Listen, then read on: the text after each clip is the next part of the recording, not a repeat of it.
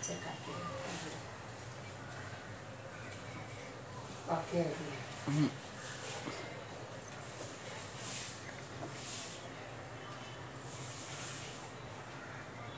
नंतर देईन ना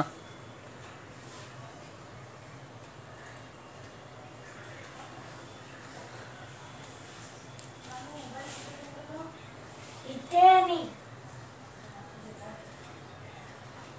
हा हा ओके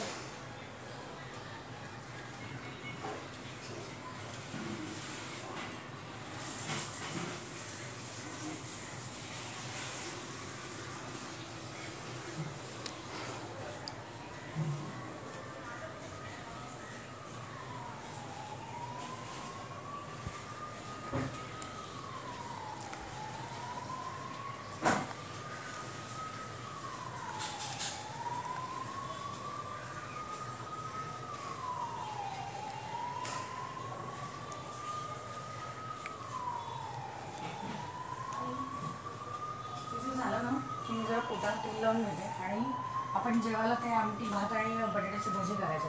पीठ हे करून ठेवू. भजीचं. हा.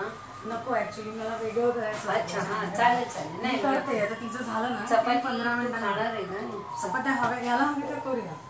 आमटीवर मी त्या बरं. भज्यांमध्ये काय करणार होते ते कांदा बारीक चिरून मिरची चिरून असं पीठ करतो ना तशी करून. ती चांगली झाली ना तर ती मुलगी येईल ना शुक्रवारी. हा, तेव्हा. मी काय विचार केला ती येईल तेव्हा मटकीची उसळ आपण करूया कांदा चालणार नाही. उपवास सोडायला.